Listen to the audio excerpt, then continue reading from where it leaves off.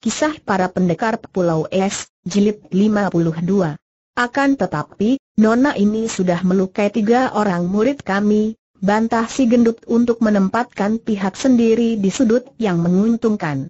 Tentu saja aku melukai dan menghajar tiga orang itu yang berani bersikap kurang ajar menggangguku bantah gadis itu. Kalau bukan tiga orang mabok itu menggangguku, perlu apa aku mengotorkan tangan terhadap mereka? Pemuda itu mengangkat kedua tangan menyabarkan kedua pihak. Jiwi Totiang, harap sudahi saja perkara kecil ini. Bagaimanapun juga, Nona ini adalah seorang pendekar dan tidak mungkin tanpa sebab ia berkelahi dengan murid-murid Jiwi, dan ternyata bahwa murid-murid Jiwi dalam keadaan mabok. Kita sama-sama tahu bagaimana sikap laki-laki yang sedang mabok kalau melihat wanita muda dan cantik. Kalau sampai terdengar oleh para pendekar dan patriot lain, tentu nama Lian Pai akan menjadi merosot saja kalau perkelahian dengan Putri Kamlocian PWE ini dilanjutkan. Memang dua orang Tosup Pek Lian Pai itu sudah dapat menduga bahwa murid-murid mereka tentu yang lebih dulu menggoda Nona yang cantik ini. Mereka tadi turun tangan hanya karena merasa marah melihat murid-murid mereka dipatahkan tulangnya, dan juga karena malu sebelum dapat membalas Nona itu. Akan tetapi begitu mendengar bahwa Nona itu adalah putri pendekar sakti suling emas, mereka sudah dapat melihat bahwa kalau dilanjutkan pertikaian itu, tentu nama mereka akan rusak karena membela tiga orang murid mabok. Baik, kami akan sudahi saja urusan ini. Akan tetapi siapakah engkau? Orang muda Tosu tinggi kurus bertanya. Dia adalah cucu pendekar super sakti dari Pulau Es. Tiba-tiba gadis itu berkata, seperti hendak membalas ketika pemuda itu tadi memperkenalkannya sebagai putri pendekar suling emas. Tentu saja dua orang kakek Pek Lian Pai itu semakin terkejut. Cucu pendekar Pulau Es? Mereka tidak berani lagi banyak lagak dan sambil menjura mereka lalu mengundurkan diri dan membentak tiga orang murid mereka yang menjadi gara-gara pertikaian itu. Setelah mereka pergi, pemuda itu membalikan tubuh, menghadapi gadis itu. Mereka berdiri saling berpandangan, sampai lama tidak dapat mengeluarkan suara. Dua pasang metu itu bertemu, bertaut dan seolah-olah mereka menjadi gagu seketika. Bayangan dan kenangan lama muncul di dalam pikiran mereka. Tiba-tiba keduanya mengeluarkan seruan hampir berbareng. Bieng. Cheng Liong. Keduanya melangkah maju mengulur tangan, akan tetapi tiba-tiba Bieng berhenti dan dia berdiri memandang dengan muka berubah merah sekali.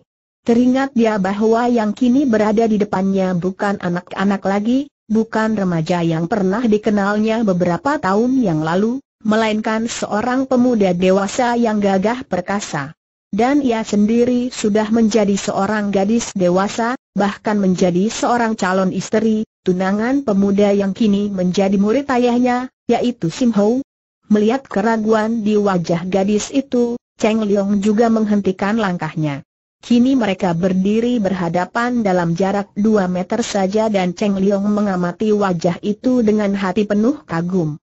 Dia terpesona oleh sepasang metu itu, oleh hidung dan mulut itu. Dieng telah menjadi seorang gadis yang menurut penglihatannya teramat cantik.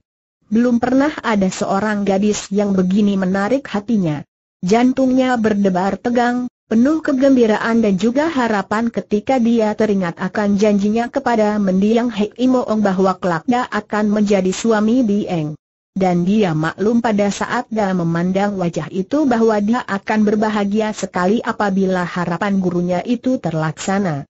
Dia jatuh cinta kepada gadis ini sekarang.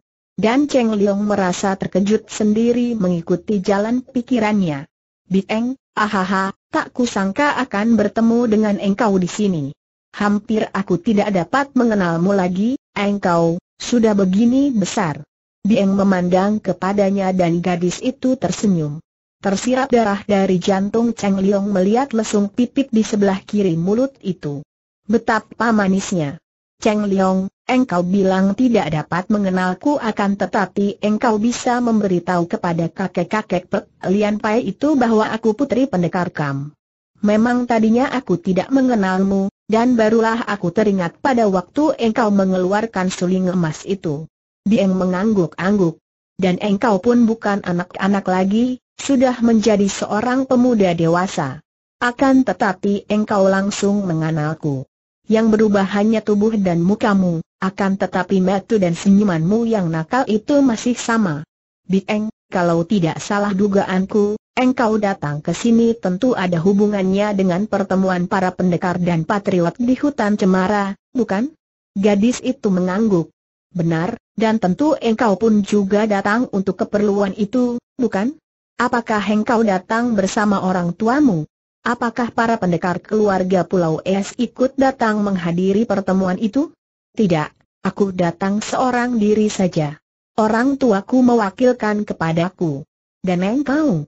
Apakah Kamlo Ciampu dan istrinya juga hadir? Bieng menggeleng kepalanya. Tidak, Cheng Liong. Aku datang bersama, guruku, tiba-tiba wajah gadis itu berubah merah. Hampir saja dia tadi menyebut mertuaku, bukan guruku. Jawaban ini mengherankan hati pemuda itu. Bieng. Engkau ini adalah putri tunggal Kam Lo yang memiliki kepandaian setinggi langit dan kurasa mewarisi ilmu-ilmu ayah bundamu saja sudah membuat engkau menjadi orang yang sukar sekali dicari tandingannya. Dan ternyata engkau masih mempunyai seorang guru lain daripada ayah bundamu. Bieng bertolak pinggang dan memandang pemuda itu dengan senyum mengejek. Cheng Liong, engkau sejak dahulu banyak lagak dan tidak mau bercermin melihat diri sendiri. Apa anehnya kalau aku mempunyai seorang guru lain? Tengok dirimu sendiri. Engkau cucu pendekar super sakti dari Pulau Es. Kurang bagaimanakah keluarga para pendekar Pulau Es? Namun ternyata engkau masih berguru kepada mendiang Hek Imoong. Cheng Liong tersenyum. Gadis ini masih galak dan tidak mau kalah kalau bicara. Akan tetapi dia seperti diingatkan kepada mendiang Hek Imoong dan dia pun menarik napas panjang. Hek Imoong memang seorang datuk sesat, akan tetapi nasibnya buruk sekali. Aku merasa kasihan kepadanya. Akan tetapi dia berwatak berbaik, dia pernah menyelamatkan aku. Sayang dia menjadi datuk sesat. Dan dia mati ketika berhadapan dengan peluangamu. Akan tetapi, bukan ayah yang membunuhnya. Hek Imoong sendiri yang menyerang ayah, padahal saat itu dia dalam keadaan luka parah sehingga gerakan serangannya itu menewaskannya sendiri Bieng membantah. Cheng Liong mengangguk-angguk. Hek Imoong memang berwatak aneh, kadang-kadang dia jahat bukan main, akan tetapi kadang-kadang baik sekali. Bagaimanapun juga, andai kata dia tewas di tangan seorang pendekar sakti seperti ayahmu pun sudah sepatutnya. Dialah yang menyebabkan kakek dan nenek nenekku di Pulau Es tewas, dia penyebab malapetaka yang melenyapkan Pulau Es. Sepasang matu yang indah itu terbelalak. Apa? Dan engkau masih mau menjadi muridnya? Tanya Bieng dengan seruan kaget dan penuh keheranan. Cheng Liong menghela napas panjang. Dia sudah berkali-kali menyelamatkan nyawaku, membelaku dan sangat mengasihiku. Dia mengajarkan ilmu-ilmunya kepadaku dengan setulus hatinya. Mana mungkin aku membalas budinya dan kasih sayangnya dengan kebencian? Tapi, tapi dia menyerbu keluarga Pulau Es dan menyerbu orang tuaku. Itulah satu di antara keanehan dan kejahatannya. Dia tidak pernah mau menerima kekalahan. Karena itu dia menjadi penasaran karena pernah kalah oleh ayahmu, dia selalu ingin membalas kekalahannya itu. Akan tetapi sudahlah, Bieng.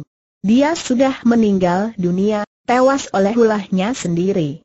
Bagaimanapun juga, aku tidak dapat melupakan semua kebaikannya. Ingatkah kau ketika dia mengobatimu? Bieng mengangguk-angguk dan menggigit bibirnya. Dan engkau dahulu ditipunya, obat manjur dikatakan akan membunuhmu, Cheng Liong tertawa. Teringat akan hal itu, Bieng tertawa juga. Gurumu itu jahat dan nakal, suka menggoda orang. Aku sudah marah dan merasa ngeri karena maut berada di depan mata ketika dia berbohong mengatakan bahwa obatnya itu adalah racun. Dan dia memaksa kita bersumpah, agar menjadi suami istri. Tiba-tiba wajah Bieng berubah merah sekali dan bersungut-sungut. Engkaulah yang berjanji, bukan aku kemudian gadis itu menyambung secara tiba-tiba. Cheng Liong, kenapa engkau berjanji seperti itu kepada Hek Imoong? Cheng Liong memandang kepadanya dan melihat betapa gadis itu kelihatan malu. Dia merasa tidak enak hati. Bieng, aku terpaksa menerima janji suhu karena aku ingin menolongmu. Aku sendiri tidak akan mau berjanji seperti itu kalau tidak terpaksa karena melihat engkau terancam maut. Dan engkau sendiri, kenapa engkau menolak keras ketika disuruh berjanji? Apakah, apakah engkau benci kepadaku? Bieng menggeleng kepala. Bukan karena benci, tetapi mana mungkin aku mau berjanji seperti itu? Bagiku, urusan pernikahan adalah bagaimana keputusan dari orang tuaku saja. Ah, sungguh sebaliknya dengan aku, Bieng. Bagiku, urusan pernikahan adalah urusan dua orang yang bersangkutan, sama sekali tidak boleh ditentukan orang lain, walaupun orang lain itu orang tua sendiri atau guru. Dahulu itu, kalau tidak terpaksa untuk menolongmu, aku tidak akan mau berjanji. Aku tidak mau kalau jodohku dipilihkan dan ditentukan oleh guruku atau orang tuaku sekalipun. Gadis itu mengangguk-angguk, alisnya berkerut dan dia lalu melangkah perlahan-lahan meninggalkan tempat itu, didampingi Cheng Liong. Keduanya seperti berjalan-jalan tanpa tujuan, tanpa disengaja, hanya untuk berjalan-jalan di dalam hutan itu sambil bercakap-cakap. Kalau begitu, janjimu itu tidak mengikat? Jadi, engkau menganggap janji kepada mendiang Hek Imoong itu sebagai kosong belaka? Begitulah. Aku tidak mau dipaksa oleh siapa pun juga untuk menerima jodoh yang dipilihnya atau dipaksakannya, apalagi kalau pilihan itu sendiri tidak suka kepadaku. Hem, kalau begitu, jodoh yang bagaimana yang cukup berharga untuk hidup di sisimu selamanya? Bertanya demikian, gadis itu menghentikan langkahnya, memutar tubuhnya menghadapi Cheng Liong dan kedua tangannya bertolak pinggang matanya memandang tajam dan mulutnya tersenyum mengejek seperti orang menantang. Diam-diam Cheng Liong terkejut dan merasa heran, juga gugup menghadapi pertanyaan tadi. Tetapi dia menenangkan dirinya, dan menjawab dengan suara sungguh-sungguh, ia harus seorang gadis yang kucinta dan mencintaku, itu saja syaratnya. Hening sejenak dan Bieng melangkah maju lagi perlahan-lahan, diikuti oleh Cheng Liong. Gadis itu nampak tenggelam dalam lamunan. Tiba-tiba saja ia berhenti lagi dan menghadapi Cheng Liong, membuat pemuda itu agak terkejut dan dia pun ikut berhenti. Mereka berdiri berhadapan dan saling pandang dan keadaan menjadi amat kaku bagi Cheng Liong. Cheng Liong, apakah sudah ada gadis yang kau cinta itu?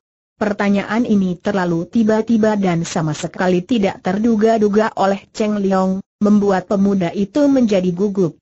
Eh, itu, eh, selama ini memang belum ada, eh, memang ada, ya, ada memang. Gadis itu mengerutkan alisnya. Cheng Liong, kalau engkau tidak percaya kepadaku dan tidak suka menjawab pertanyaan itu, katakanlah, jangan pura-pura. Ada atau tidakkah gadis yang kau cinta itu? Yang tegaslah, jangan pelintat-pelintut. Ada, ada. Ya benar, ada memang Cheng Liong berkata menutupi kegugupannya dengan sikap tegas. Hem, dan, dan ia pun cinta padamu. Cheng Liong menggelengkan kepalanya. Aku tidak tahu, Bieng, belum tahu. Karena pertanyaan-pertanyaan itu makin lama makin mendekati sasaran, yaitu hal-hal yang mengguncangkan batinnya di saat itu, Cheng Liong yang gagah perkasa itu merasa betapa kedua kakinya agak gemetar dan tubuhnya lemas. Maka dia pun lalu duduk di atas batu yang besar di dekat situ. Anehnya, Bieng juga duduk di atas batu berhadapan dengannya dan gadis itu kelihatan tertarik sekali. Engkau belum tahu? Engkau mencinta seorang gadis dan engkau belum tahu apakah ia mencintamu atau tidak? Cheng Liong, mengapa engkau tidak bertanya kepadanya? Aku, aku takut, Bieng. Kau. Kau takut gadis itu tertawa dan menutupi mulutnya dengan punggung tangan. Engkau cucu pendekar super sakti Pulau Es, juga murid Hek Imo Ong si Raja Iblis, dan engkau mengenal takut.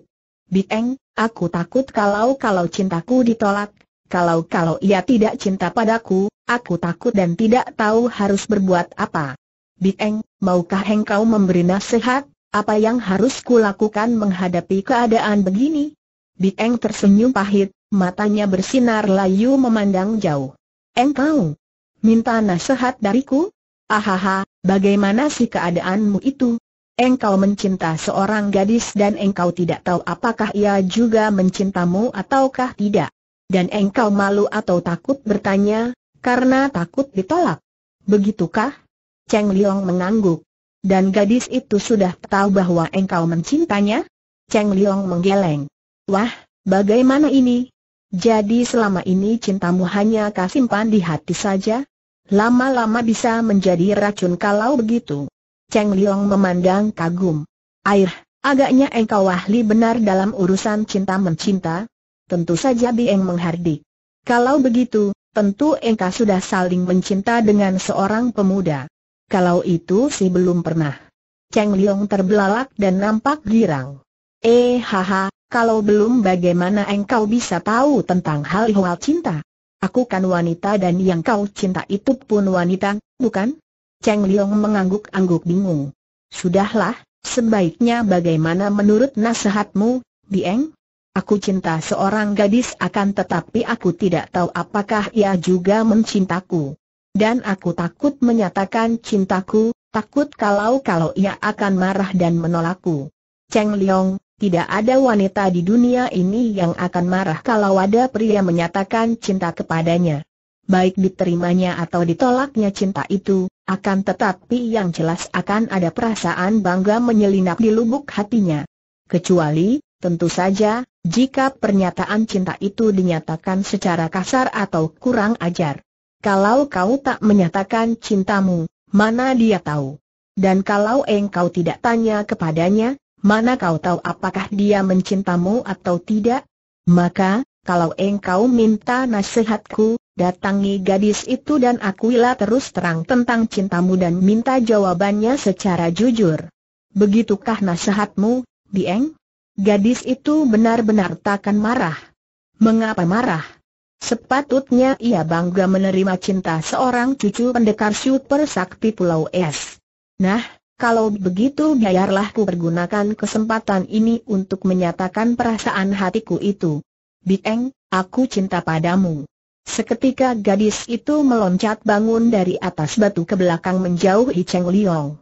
Mukanya pucat dan matanya terbelalak, alisnya berkerut dan matanya mengeluarkan sinar menyambar-nyambar ke arah wajah pemuda itu. Apa? Apa yang kau katakan itu? Biteng, aku cinta padamu dan semoga engkau sudi menerimanya, semoga engkau dapat membalas cinta kasihku kepadamu. Cheng Liong, engkau berani main-main dengan kubi yang mengepal tinju dan mukanya berubah merah, sinar matanya membayangkan kemarahan. Melihat ini, Cheng Liong lalu menjura. Bieng, maafkan aku. Ingat bahwa engkau sendiri yang tadi menasehatiku untuk berterus terang, engkau sendiri yang mengatakan bahwa gadis itu takkan marah. Tapi, tapi, kukira bukan aku gadis itu, dan, dan bukankah kau tadi mengatakan bahwa janjimu kepada Hek Imoong itu hanya kosong belaka? Bahwa janjimu itu tidak mengikat apa-apa? Memang benar, Janjiku itu dahulu kulakukan hanya untuk menyelamatkanmu. Dan aku menentang janji itu dalam batinku, Bieng. Aku tidak mau mendiang suhu memaksa kita untuk berjodoh begitu saja. Tapi, kita baru saja berjumpa lagi dan kau menyatakan cinta. Bieng, semenjak pertemuan kita dahulu, aku sudah merasa kasihan dan suka sekali kepadamu. Tentu saja aku belum tahu pada waktu itu tentang perasaan cinta, karena aku kasihan dan suka, maka aku menolongmu ketika engkau terpukul oleh si Jahanam Long Tek Chiang, dan engkau tahu sendiri, aku bahkan lalu melawan dan menyerang mendiang guruku sendiri karena mengira engkau diracunnya. Akan tetapi, setelah kini kita saling jumpa, barulah aku tahu dan merasa yakin bahwa aku mencintamu. Aku cinta padamu, Bieng, bukan karena janjiku terhadap mendiang Hek Imoong. Aku cinta padamu dan aku akan merasa berbahagia sekali kalau engkau pun membalas perasaan cinta kasihku. Bieng, Bieng, engkau kenapa?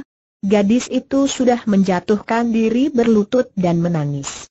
Terisak-isak Bieng menangis, seperti anak kecil menutupi muka dengan kedua tangannya. Air mata nampak menetes-netes dari celah jari-jari tangannya. Tentu saja Cheng Liong terkejut bukan main dan dia pun cepat menghampiri dan berlutut pula di depan gadis itu. Ingin dia menghibur, ingin dia menyentuh, akan tetapi tidak berani dan timbul kekhawatiran besar di dalam hatinya. Bieng, ah, Bieng, kau maafkanlah aku kalau semua kata-kataku menyinggung perasaanmu. Bieng, kalau engkau merasa terhina oleh pengakuanku tadi, biarlah aku mengaku salah, dan boleh engkau menghukumku. Pukullah aku, sumpahi mati pun aku tidak akan membalas. Dia menurunkan kedua tangannya dan dengan mata basah dan hidung merah ia memandang pemuda itu. Mereka saling pandang dan tiba-tiba Bieng menangis lagi, menutupi lagi mukanya dengan kedua tangan. Cheng Liong menjadi semakin bingung dan khawatir. Dia adalah seorang pemuda gagah perkasa, penuh keberanian dan ketenangan. Akan tetapi sekarang menghadapi gadis yang dicintanya menangis tidak karuan mendengar pengakuan cintanya, dia menjadi bingung, tidak tahu harus berbuat apa. Bieng, sekali lagi maafkanlah aku, mengapa engkau kelihatan begini berduka? Kalau engkau marah kepadaku, hal itu masih dapatku mengerti, akan tetapi kenapa engkau berduka? Kenapa menangis? Engkau yang segagah ini? Eng semakin mengguguk dan akhirnya Cheng Liong membiarkan gadis itu menangis. Agaknya gadis itu harus menghabiskan dahulu air matanya, baru dapat diajak bicara, pikirnya. Dan meski pendapatnya ini hanya ngawur saja, akan tetapi buktinya memang demikian. Setelah puas menangis, tangis gadis itu mereda, bahkan ia lalu dapat bicara. Cheng Liong, aku, aku tidak marah kepadamu, tapi, kata-katamu tadi membongkar semua isi batinku dan membuatku berduka. Ketahuilah, aku, aku telah bertunangan dengan orang lain. Cheng Liong menatap wajah gadis itu, sikapnya tenang, akan tetapi wajahnya berubah pucat dan dia merasa betapa jantungnya seperti ditikam pedang. Dia menggigit bibirnya dan termenung sejenak. Tetapi, bukankah tadi kau mengatakan bahwa kau tidak pernah saling mencinta dengan seorang pria? Gadis itu makin terisak dan mengusap air matanya dengan ujung lengan baju. Itulah sebabnya aku menangis. Aku, aku tidak mencintanya, aku hanya menurut kehendak ayah ibuku saja. Ah, dan dia? Dia tentu mencintamu, bukan? Gadis itu menggeleng kepala. Dia pun seperti aku, hanya menurut kehendak orang tua. Kami tidak sempat bergaul, begitu bertemu orang tua kami saling setuju menjodohkan kami, kemudian aku ikut calon ayah mertuaku untuk dididik ilmu silat, sebaliknya dia ikut ayahku untuk menerima pendidikan ilmu pula. Cheng Liong menarik napas panjang. Hatinya terasa nyeri. Dia tahu bahwa amat banyak orang-orang muda seperti Bieng dan tunangannya ini. Bahkan ada orang baru melihat istri atau suaminya setelah bertemu sebagai sepasang mempelai. Menjadi mempelai seperti beli undian saja, untung-untungan. Sungguh aku merasa heran, bagaimana seorang gadis seperti engkau mau begitu saja dijodohkan tanpa mempertimbangkan perasaan hatimu sendiri? Aku tidak berani menolak, karena aku tidak ingin menyusahkan hati ayah ibuku yang hanya mempunyai seorang anak tunggal yaitu aku, Cheng Liong. Hening sejenak. Keheningan yang amat tidak enak bagi Cheng Liong. Jadi engkau tidak cinta kepada pemuda itu, tidak suka kepadanya. Aku tidak mencintanya, bukan berarti tidak suka. Dia cukup baik dan gagah perkasa. Siapakah dia, kalau aku boleh mengetahuinya, Bieng? Dia bernama Sim Ho, putra tunggal dari paman Sim Hang Bu. Ahaha Cheng Liong melompat berdiri dengan kaget sehingga Bieng juga terkejut dan mengangkat muka memandang. Putra orang tua yang gagah perkasa itu.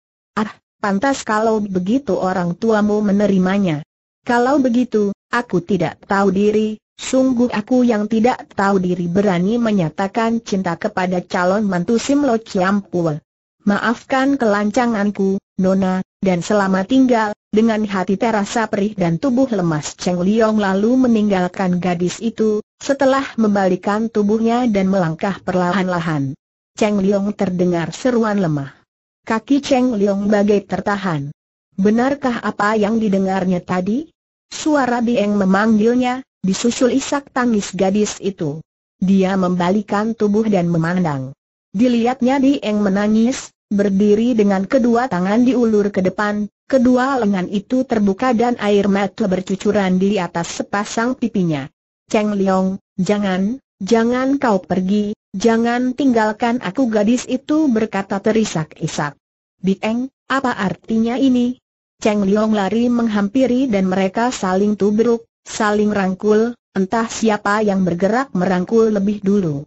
Bieng menyembunyikan mukanya di atas dada pemuda itu dan dia pun menangis terisak-isak.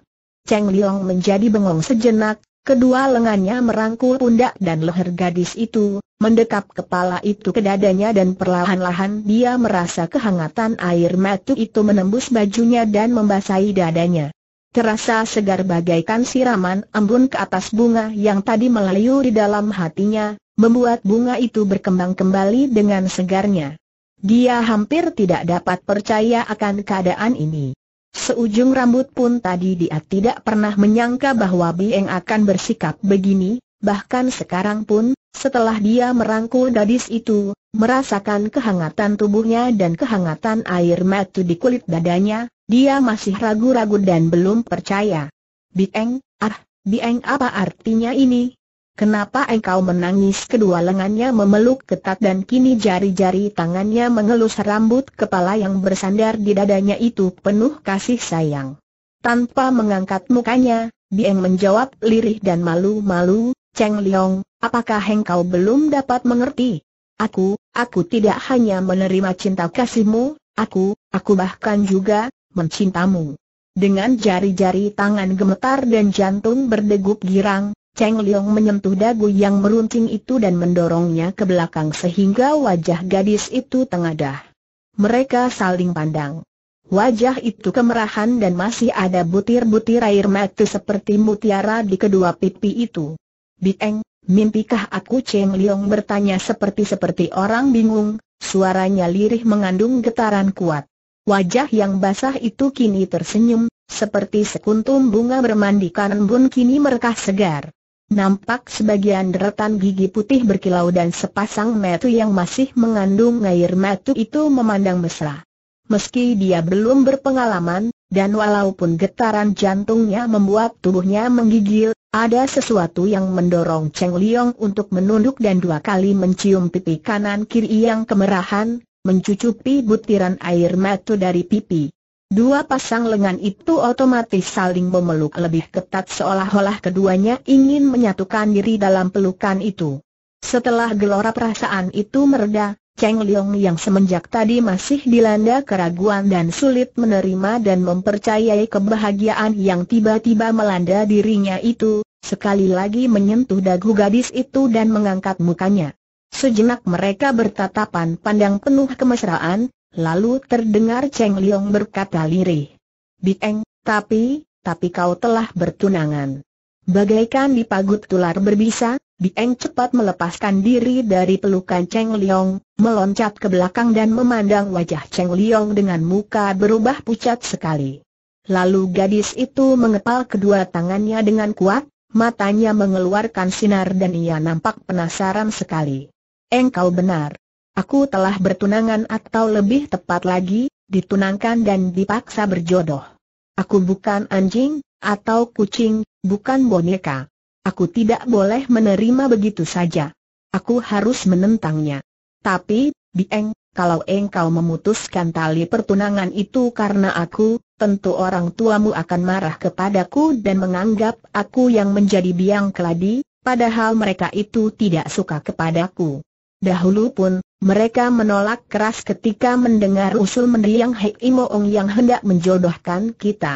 Lagi pula, aku sangat menghormati Sim Lo Chiam Pua, bagaimana aku ada muka untuk berhadapan dengannya kalau kini aku menjadi perusak pertalian jodoh antara engkau dan puteranya?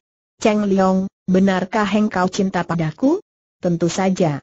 Sebesar aku mencintamu. Ya, lebih lagi, ini aku yakin. Kalau begitu, mengapa engkau kelihatan takut-takut menghadapi segala risiko dan akibatnya? Bukan takut, Bieng, hanya merasa tidak enak hati. Aku menghormati dan mengagumi orang tuamu, juga Sim Lo Chiam Pual, dan aku khawatir akan nasibmu kalau menentang orang tuamu. Jadi, kalau begitu engkau menganjurkan aku menerima saja nasibku? Menerima saja dijodohkan dengan orang lain? Cheng Liong, cinta macam apa yang ada di hatimu terhadap diriku? Tidak, bukan begitu maksudku. Aku hanya ingin agar, dengan halus engkau dapat memberi alasan kepada orang tuamu supaya mereka tidak memaksamu, dan kita, dengan terus terang menghadap orang tuamu, menceritakan tentang cinta kita. Nah, begitu baru benar Bieng menjadi gembira dan ia melangkah maju, dipegangnya kedua tangan pemuda itu. Cheng Liong, kalau aku berada di sampingmu, kalau aku bersamamu, aku tidak akan takut menghadapi apa pun juga.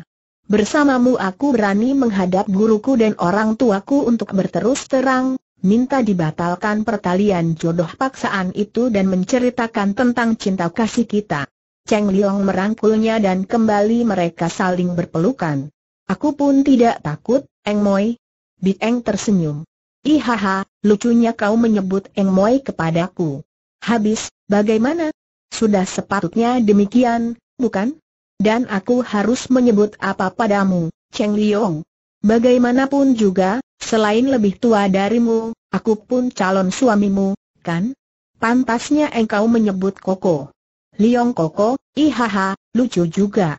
Melihat kekasihnya itu dengan mata masih basah bekas air mata kini telah tersenyum-senyum manis dan gembira, Cheng Liong tidak dapat menahan hatinya dan diciumnya gadis itu, kini diciumnya bibir yang merah itu. Dia masih canggung karena selama hidupnya baru pertama kali itu mencium, itu pun dilakukannya hanya menurut dorongan naluri kejantanannya saja. Bieng terkejut, mengeluh dan meronta sebentar, akan tetapi lalu tubuhnya menjadi lemas dan dia pun membuang semua perlawanan dan keraguan, menyelah dengan sepenuh hati dan mereka pun berciuman, canggung namun mesra. Eng Moi, aku cinta padamu. Aku siap mempertaruhkan nyawaku untuk melindungimu. Tidak perlu sampai membahayakan nyawa, Koko. Aku yakin bahwa guruku dan juga ayah bundaku adalah pendekar-pendekar yang gagah perkasa dan dapat menyadari kekeliruan mereka. Kita menentang mereka karena memang sekali ini mereka terlalu sembrono dan keliru dalam menjodohkan anak-anak mereka tanpa perhitungan lebih dulu, tanpa mempedulikan isi hati antara yang bersangkutan. Mudah-mudahan begitu. Eng Moi, sekarang engkau hendak ke manakah? Aku datang ke tempat ini bersama-sama Suhu, dan tadi kami berpisah, masing-masing melakukan penyelidikan di sekitar tempat ini. Suhu menyuruh aku memasang metu kalau-kalau tempat ini terdapat orang-orang dari golongan lain yang menyelundup. Aku lalu bertemu dengan orang-orang peklian Pai Mabok yang menggangguku. Cheng Liong melepaskan rangkulannya dan mereka kini bicara dengan sikap serius, karena perhatian mereka mulai tertarik dan teringat akan keperluan mereka datang ke tempat itu. Aku pun heran mengapa orang-orang seperti mereka itu turut hadir pula di sini. Kehadiran mereka itu saja sudah membuat aku menjadi semakin ragu-ragu akan kebenaran pertemuan ini. Menurut Suhu, Pek Lian Pai ialah perkumpulan yang paling gigih menentang pemerintah sejak dulu. Yang kita pandang bukanlah perangai mereka, melainkan semangat mereka menentang pemerintah penjajah.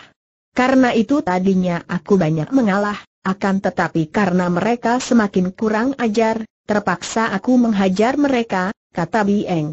Sekarang mereka sudah mulai berkumpul di hutan cemara, mari kita pergi ke sana, Eng Moi, Sebaiknya engkau pergi ke sana dulu, Liong Koko. Aku akan mencari suhu dulu dan nanti kita bertemu kembali di hutan cemara. Menuruti perasaan hatinya, Cheng Liong ingin berdampingan terus dengan kekasihnya. Akan tetapi dia pun tahu bahwa kekasihnya itu tidak mungkin meninggalkan gurunya atau juga calon ayah mertuanya itu begitu saja. Baiklah, kita saling jumpa di hutan cemara, Eng Moi, katanya.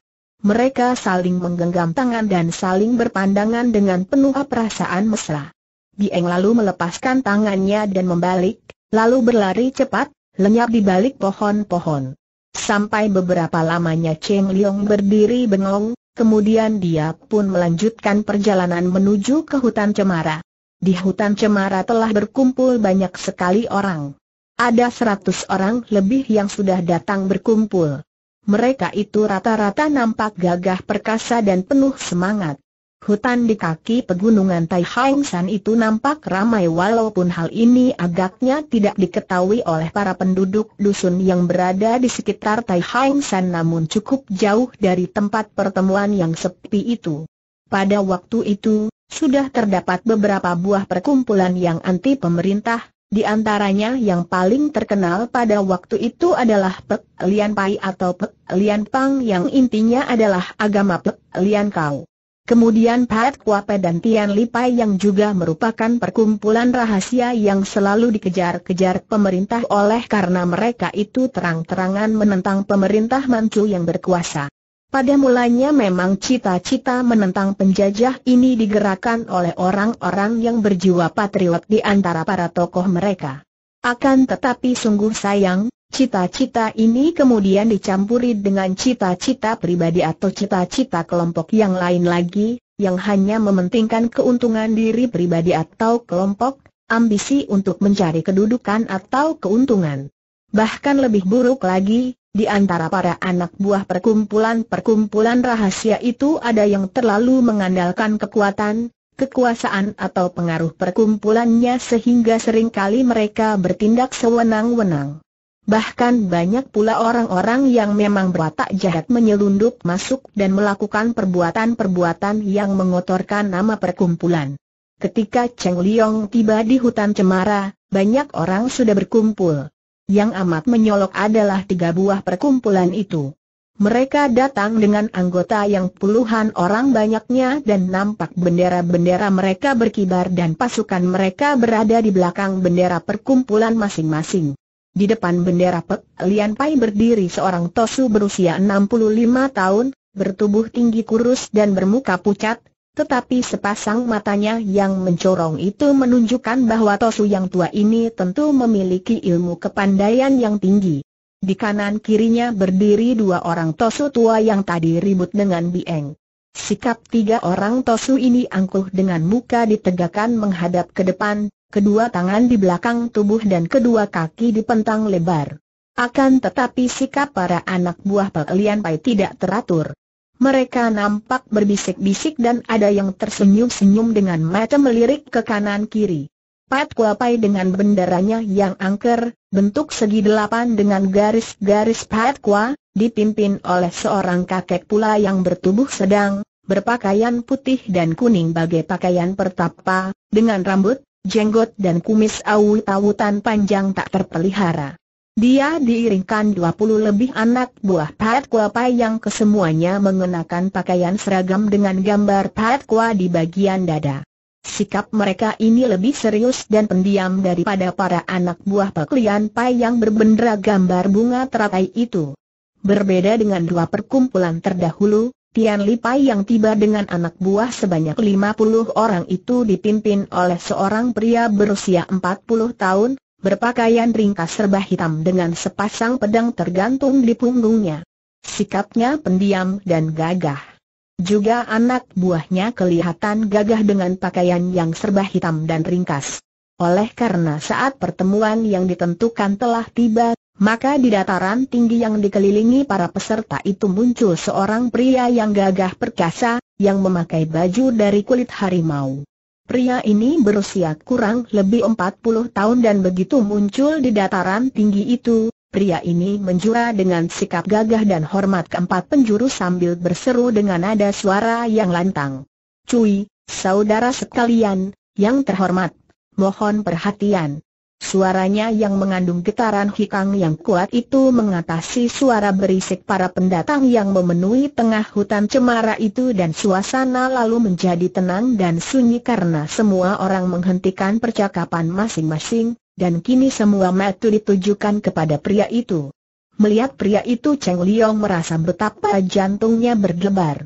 Andai kata tidak terjadi pertemuan antara dia dan Bieng, maka melihat pria ini tentu akan mendatangkan rasa girang, tidak bercampur tegang seperti sekarang ini. Pria itu adalah Sim Hang Bu, pendekar yang mewarisi Kuai Liong Po Kiam, pedang pusaka naga siluman, dengan ilmunya itu. Pendekar yang menjadi guru Bieng, juga menjadi calon mertua.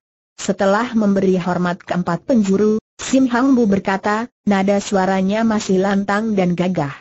Cui yang terhormat, harap maafkan kelancangan saya mewakili para lociampu dan para sahabat untuk sementara memimpin rapat ini sebelum kita semua memilih pimpinan.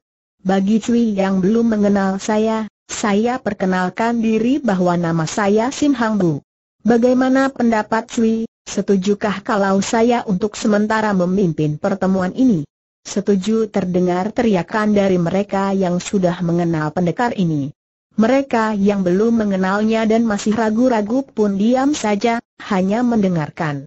Agaknya para pimpinan tiga perkumpulan besar yang hadir itu pun sudah mengenal pendekar ini karena mereka mengangguk-angguk.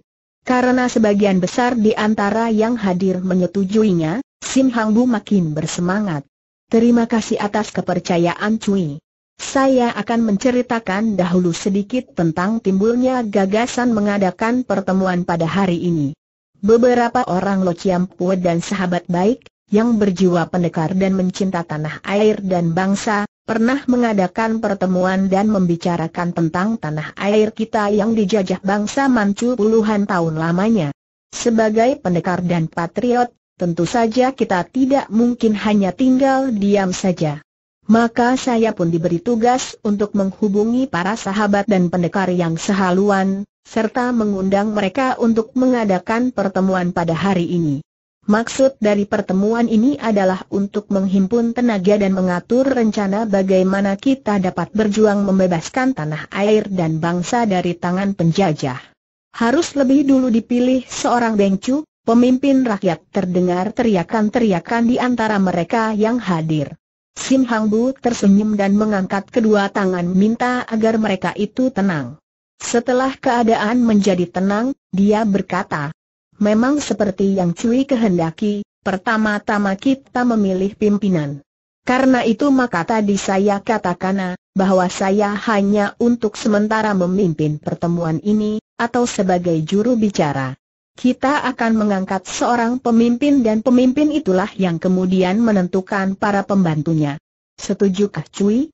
Setuju semua orang kembali berisik menyatakan setuju.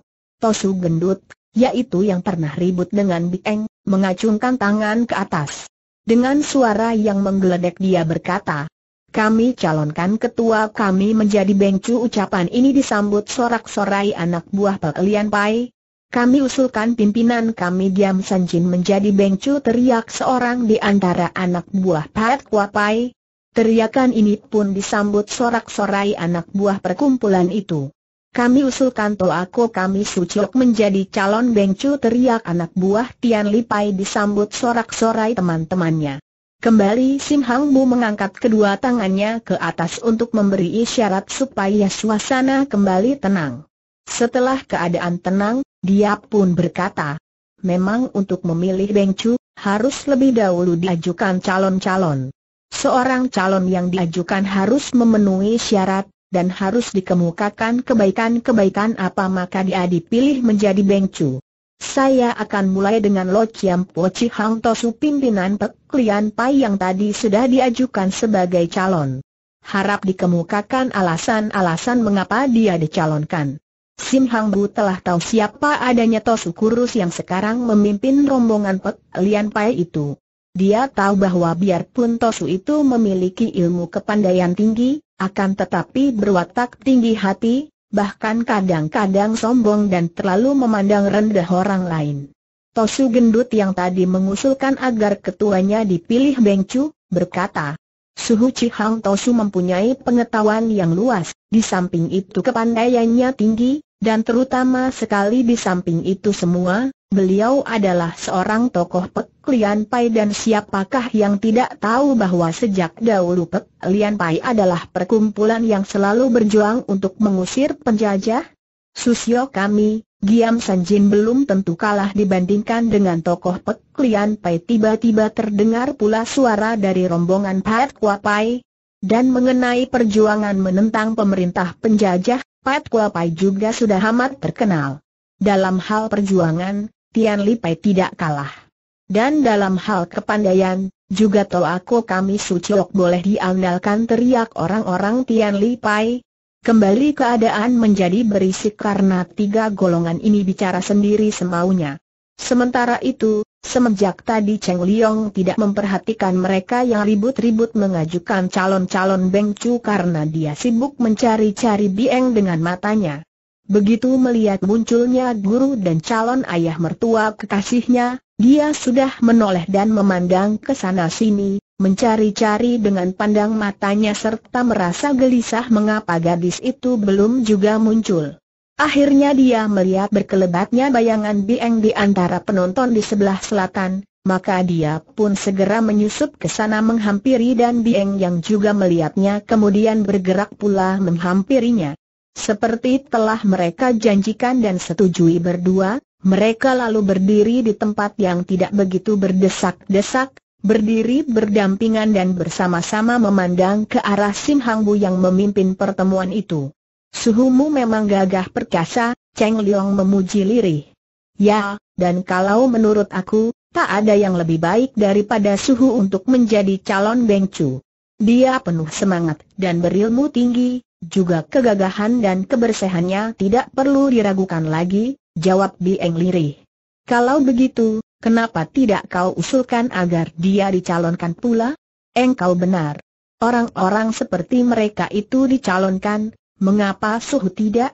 Setelah berkata demikian, sekali menggerakkan kakinya, gadis itu sudah meloncat ke depan, ke arah bagian tanah yang agak tinggi meski tidak setinggi tanah datar di mana gurunya berada. Dengan pengerahan hikang yang membuat suaranya melengking tinggi mengatasi semua kegaduhan ia berkata, Cui, saya juga mengajukan seorang calon Beng Chu, yaitu bukan lain guru saya sendiri Sim Hang Bu yang Cui semua sudah mengenalnya. Usul ini disambut sorakan setuju dari sebagian banyak orang, mungkin lebih tertarik karena melihat kecantikan dan keberanian Dieng dibandingkan dengan kepercayaan mereka terhadap Sim Hang Bu sendiri. Melihat ulah muridnya, Sim Hang Bu tertawa dan mengangkat kedua tangan ke atas. Cui sekalian, harap maafkan murid saya. Akan tetapi karena ia sudah mengajukan saya sebagai calon, tentu saja terserah kepada Cui. Nah, siapa lagi yang hendak mengajukan calon? Ternyata banyak juga calon yang diajukan oleh para pendekar itu. Di antara mereka bahkan terdapat Bu Tai Hiap atau pendekar Bu Sengkim yang terkenal sebagai seorang pendekar sakti banyak istri dan kekasihnya itu, yang kini telah berusia 60 tahun lebih akan tetapi masih nampak ganteng dan gagah. Bu Tai Hiap hanya tersenyum-senyum saja mendengar betapa dia dicalonkan sebagai bengcu yang akan memimpin para pendekar dan patriot untuk berjuang menentang pemerintah penjajah. Agaknya pendekar ini merasa gembira bahwa masih ada orang yang percaya kepadanya dan diam-diam dia merasa bangga karenanya. Jumlah para calon itu ada 17 orang. Jumlah calon begini banyak, bagaimana harus diadakan pemilihan di antara yang 17 ini Sim Hang Bu menjadi bingung sendiri melihat demikian banyaknya calon yang diajukan. Apalagi mereka itu nampak demikian bernapsu untuk menang dalam pemilihan ini mudah saja diatur. Kita adalah orang-orang yang sudah biasa mengandalkan ilmu silat untuk melewati hidup. Karena itu, untuk menentukan pilihan, sebaiknya kalau dipilih di antara kita yang paling tangguh. Nah, aku sebagai seorang di antara calon-calon sudah maju untuk menandingi calon lain yang merasa berkepandaian tinggi. Yang bicara ini adalah seorang pria tinggi besar bermuka hitam yang sudah meloncat ke depan, di tempat datar itu, bersikap menantang. Semua orang memandang kepadanya. Pria ini tadi dipilih oleh kawan-kawannya dan dia terkenal sebagai seorang yang ditakuti di Taigoan, bahkan di Provinsi Sansi dia dikenal sebagai jagoan atau tukang pukul yang disegani. Karena dia tidak pernah berbuat kejahatan, walaupun agak sewenang-wenang mengandalkan ilmu silatnya dan selalu ingin benar sendiri, maka dia selalu menganggap diri sendiri sebagai seorang pendekar. Pria ini bernama Tenggun, dan pria yang tinggi besar bermuka hitam ini berusia 40 tahun, terkenal memiliki banyak macam ilmu silat di antaranya ilmu-ilmu silat dari Xiao Lim dan tenaganya amat besar. Sebelum yang lain-lain sempat mengemukakan pendapatnya dan juga sebelum Sim Hang Bu sempat mencegahnya, nampak bayangan berkelebat dan tahu-tahu Suciok, tokoh Tian Li Pai, sudah berada di atas tanah datar itu menghadapi Tenggun. Bagus, engkau hendak menantang Pibu? Baik sekali, akulah lawanmu. Sekarang lihat seranganku bentak Sucok sambil menerjang dengan pukulannya yang kuat. Tokoh Tian Lipai ini memang berwatak keras, tidak banyak cakap namun suka sekali berkelahi. Begitu mendengar usul dan tantangan Tenggun tadi, dia sudah naik darah dan menyambut tantangan itu tanpa banyak cakap lagi. Heh, Engkau ini tokoh Tian Lipang tadi bentak Tenggun sambil menangkis dengan pengerahan tangannya yang besar. Duk! Pertemuan dua lengan yang sama besar dan sama kuatnya itu membuat keduanya terdorong ke belakang sampai terhuyung. Keduanya terkejut, tak mengira bahwa lawan memiliki tenaga yang demikian besar. Akan tetapi kini Tenggun marah dan membalas serangan tadi dengan cengkeraman tangan ke depan, disusul hantaman tangan kiri ke arah kepala lawan. Karena kini dia tahu bahwa lawannya juga memiliki tenaga besar, maka melihat datangnya serangan yang kuat berbahaya itu, Sucok mengelak dan balas menyerang. Serang menyerang pun terjadilah dengan serunya. Dan ternyata dua orang yang sama tinggi besar dan sama kuatnya ini memang memiliki kepandaian dan tenaga seimbang. Berkali-kali lengan mereka saling bertemu dan selalu keduanya terdorong ke belakang. Ketika mereka bertanding sampai 20 jurus lebih, tiba-tiba berkelebat bayangan tubuh ke medan perkelahian itu. Kiranya bayangan itu adalah Giam Sanjin tokoh Pat Kuapai. Plak, plak, Kakek berpakaian pertapa ini menggerakkan tangannya menyambut pukulan dua orang yang sedang berkelahi itu. Demikian kuat tamparan tangannya ketika mengenai lengan mereka sehingga Tanggun dan Sucio yang bertenaga besar itu pun terpelanting dan hampir terbanting roboh. Tentu saja keduanya terkejut bukan main. Kalian mundurlah kakek itu membentak dengan match mencorong kepada mereka. Dua orang kuat itu terbelalak dan sejenak bimbang. Dari pertemuan tenaga tadi saja mereka pun maklum bahwa kakek tokoh Pat Kuapai ini memang hebat sekali, maka mereka menjadi ragu dan jeri, lalu mundur untuk membiarkan kakek itu bicara. Giam Sanjin memberi hormat keempat penjuru, kemudian berkata dengan suara halus.